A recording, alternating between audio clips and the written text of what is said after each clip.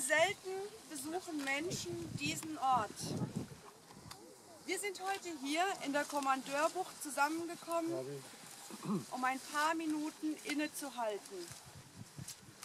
Wir gedenken Vitus Bering, einem der berühmtesten Seefahrer seiner Zeit, seinen Seeleuten und sonstigen Teilnehmern seiner zweiten Kamtschatka-Expedition. Vitus Bering wurde am 12. August 1681 in Horsens in Dänemark geboren. Sein Vater war Zollinspektor, schwerten das Vorankommen der St. Peter. Die Seeleute litten zunehmend an Skorbut.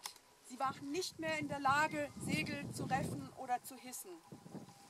Berings erster Offizier, Sven Waxel, schrieb in sein Tagebuch,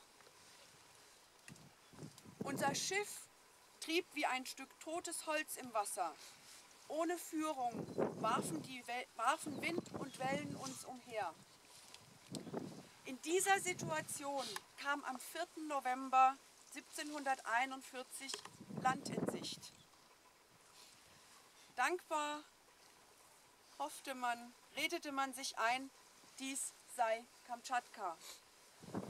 Aber bald wurde deutlich, dass man auf einer unbewohnten Insel gelandet war. Der Naturforscher Georg Wilhelm Steller half, die Überwinterung zu organisieren. Von 77 Besatzungsmitgliedern kehrten nur 46 im nächsten Jahr nach Kamtschatka zurück. Vitus Bering starb im Alter von 60 Jahren am 8. Dezember 1741 hier in dieser Bucht auf der Insel, die heute seinen Namen trägt. Georg Wilhelm Steller war voll der Bewunderung für Bering und dessen Selbstkontrolle seine ernsthafte Vorbereitung auf den nahenden Tod. Bis zum letzten Moment sei er bei Verstand gewesen und habe auch noch sprechen können.